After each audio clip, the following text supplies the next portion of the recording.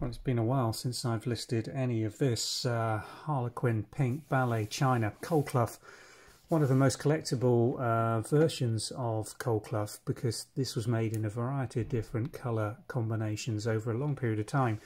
This set is in very fine condition, lovely uh, rich pink version. They did make the pastel pale pink, so just do uh, make sure if you're interested in this that it's going to match pieces you've got. But the beauty of it is you buy it in different colour combinations and put it together as a Harlequin set.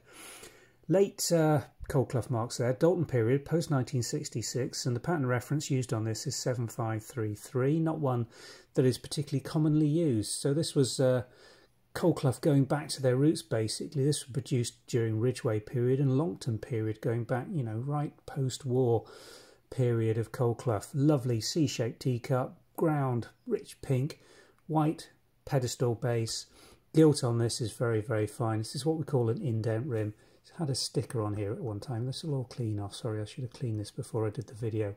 But don't worry about that. It's going to come off completely. Just a bit of glue.